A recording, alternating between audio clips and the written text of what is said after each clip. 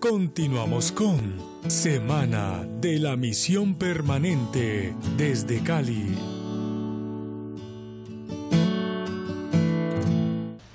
Bueno, queridos cristovidentes, nos encontramos ahora en otro espacio de esta bella ciudad de Cali. Como ven, atrás pasan los buses, la gente, es un día de muchas actividades aquí en Cali. Y bueno, nos encontramos ahora aquí porque vamos a seguir conversando con el padre Brian Mesa sobre un tema importante, el perdón regalo de la misericordia divina. Muy buenos días, padre. Qué alegría tenerlo nuevamente aquí en Entre Amigos para Muy buenos días, Marjorie. Muchas gracias por invitarme de nuevo a este espacio para conversar entre amigos. Saludo a todos los cristovidentes que nos acompañan a esta hora de la mañana. Muchas gracias por estar ahí pegaditos del televisor. Hoy compartiremos un tema muy interesante para todos. Así es, Padre. Así que cristovidentes, allí, yo sé que están allí, como siempre, muy fieles, viendo este programa donde aprendemos tantas cosas. Pero bueno, Padre, como digo, el perdón regalo de la misericordia divina. Pero como ya usted sabe, Padre, Aquí en Entre Amigos nos gusta el ABC. Así que vamos a empezar por saber qué es el perdón. Yo sé que hemos hablado mucho del perdón, hemos hablado mucho de la misericordia, pero es importante que cada día lo tengamos más claro, que cada día seamos más conscientes de lo que ello significa. Así que, Padre, ¿qué es el perdón? Pues, a ver, Marjorie, para hablar primero del perdón hay que hablar del pecado. El pecado es aquello que nos aleja del amor incondicional de Dios. El pecado, eh, decimos eh, en la iglesia que hay dos clases de pecado, ¿no? El pecado venial y el pecado mortal. Podríamos decir, el pecado venial es como aquello que empaña eh, el espejo, aquello que empaña el vidrio y que no nos deja ver.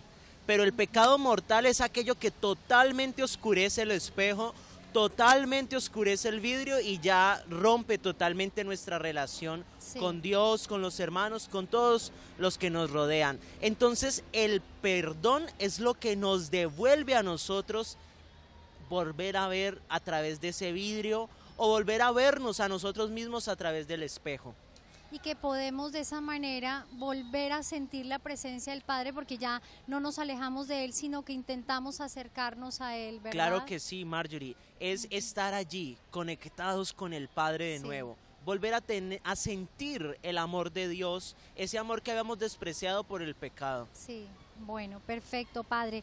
Y ahora estamos hablando que el perdón es un regalo de la misericordia. Toda esta semana y todo este año extraordinario de la misericordia, lo hemos tocado. Pero es importante ver otro punto allí de la misericordia y entenderlo. Primero tendríamos que ir al, significado etimológico de misericordia, que es eh, misericordis. Entonces, eh, misere es, sí, como esa, esa miseria, pero que sale de las entrañas. Eso que sale desde allá adentro. Y cordis es amor, corazón, ¿no? Entonces, misericordia sería como amar desde las entrañas. Amar desde, amar desde allá adentro. Eh, sentir esa, esa acción divina de Dios que nos abraza, que nos acoge. Pero sí es fundamental que tenemos que hablar de, los miserables, ¿no? Sí. Que son aquellos que están alejados, que están, que se han ido de, Dios, que son infelices, que no se sienten eh, acogidos, no solo por Dios, sino más bien porque Dios a todos nos acoge. Sí. Se sienten despreciados por la sociedad, se sienten despreciados a veces hasta por nosotros mismos. Sí, lamentablemente a veces con pequeñas actitudes nosotros logramos rechazar y hacer de lado a las personas que amamos, ¿no? Sí, desafortunadamente a eso nos lleva cuando nos alejamos del Señor y eso es lo que hace que nos sintamos con, pues que haya depresión, abatimiento, infelicidad. Padre, al identificar el perdón, al identificar la misericordia, podemos hablar que sigue un siguiente paso, ¿no? Cuando, cuando tratamos pues de que, de que ese pecado personal, de que ese pecado que hemos, que hemos, que hemos cometido en la vida, podamos tener la esperanza de hablar de una reconciliación, ¿no es cierto? Claro que sí. Eh, son palabras que van muy unidas, ¿no? Misericordia, perdón, miserable y reconciliación. Como su misma palabra lo dice, es volver a conciliar. Volver a conciliar las relaciones que tenemos, que, creíamos perdidas, ¿no? Volver a tener la amistad, volver a tener ese espacio eh, con la familia que se había roto, algún familiar que hace rato no lo veíamos y se había disgustado por algún motivo, o por ese amigo que se disgustó, que no está ya con nosotros. Entonces la reconciliación es necesaria, es volver a tender esos puentes para unirnos, ¿no? para volver a estar conectadísimos con Dios. Ok, Padre, pero tenemos que situarnos en una realidad social, ¿sí? situarnos en una realidad donde definitivamente estamos viviendo un caos en este tiempo, donde los valores se vuelcan por completo, donde se le da prioridad a una cantidad de cosas que realmente nos llevan es a cometer pecado. ¿Sí? ¿Qué hacer con esta sociedad? ¿Cómo llamarla nuevamente al orden para obtener esa reconciliación? A ver, yo pienso que tenemos que hacer un ejercicio de volver a, unir eso que se ha roto. Hay muchos valores, principios desde la familia, desde el hogar que, que ya se han desquebrajado, que se han perdido muchísimo. O sea, lamentablemente hoy tenemos una sociedad muy rota, muy, muy separada y tenemos que volver a unir. Precisamente por eso es tan importante la reconciliación. Hoy tenemos una humanidad muy herida, herida por muchísimas esclavitudes, por el relativismo moral, político, eh, sociológico, económico, o sea, el relativismo campante del cual hablaba el Papa Benedicto XVI, ¿no? Es un relativismo que ha impregnado toda nuestra sociedad y que en vez de ayudar a avanzar la sociedad, lo que está haciendo es hacer una sociedad herida, una sociedad rota, una sociedad quebrada, una sociedad que se va eh, ampliando las brechas hasta que no toleramos, no perdonamos, no nos reconciliamos.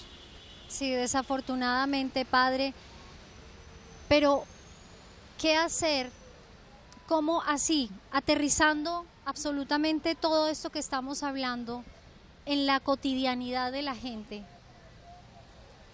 ¿Cómo podríamos llamar a la gente para decirle, ojo, o sea, no hay que caer en el relativismo, no hay que caer en las confusiones a las que nos están llevando, si la misma familia ya está haciendo quebrantada. Yo, yo pienso, Marjorie, que es muy importante, eh, o sea, volver a recuperar valores y valores estables en nuestra casa, porque no, se han perdido y no se recuperan para nada y es muy importante que en la familia se enseñen valores y principios estables. La sociedad hoy nos presenta de que no, de que todo pasa, de que nada perdura, de que todo eh, se va. No, no, no, eso es falso. Nosotros quedamos, la esencia queda. Y, yo te quiero invitar a que pienses un momento. La Marjorie de hace 30 años es la misma Marjorie de ahora.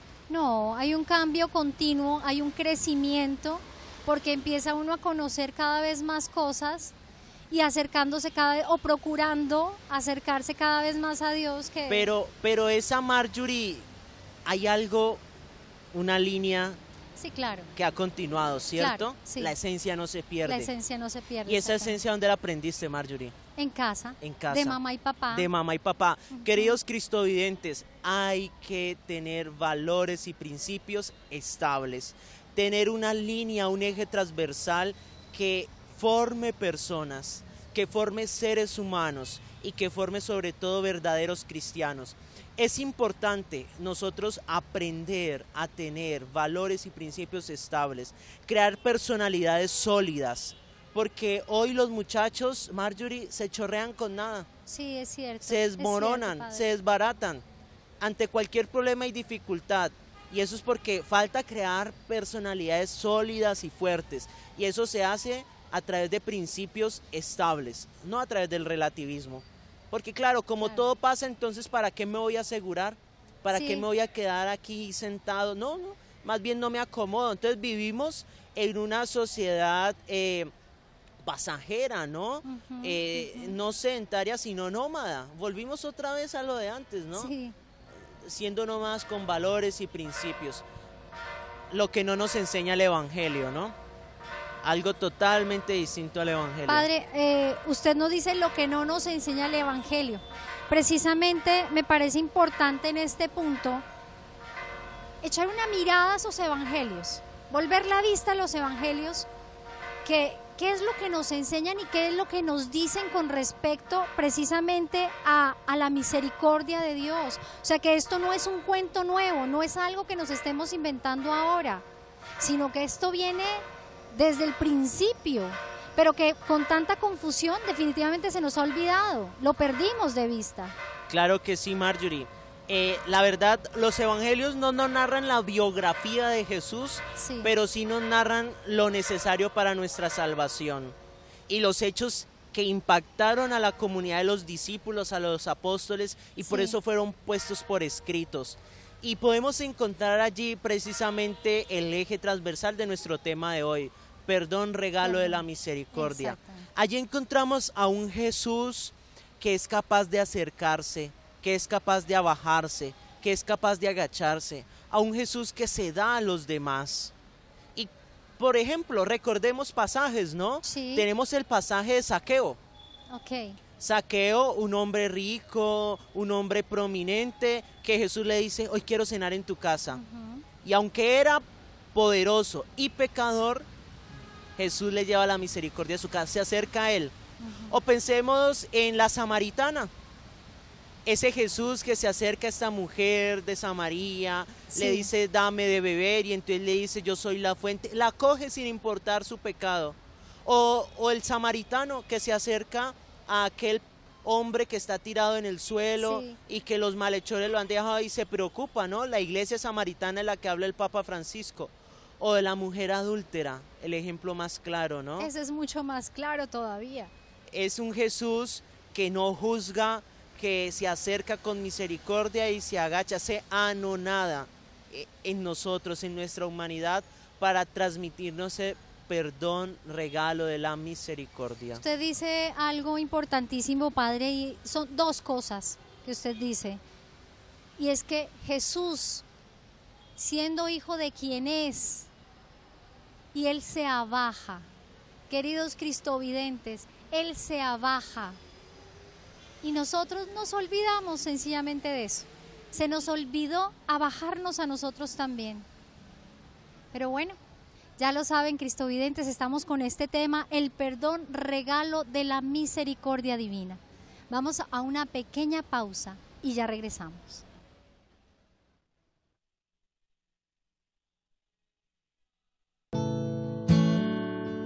Ya regresamos con Semana de la Misión Permanente desde Cali.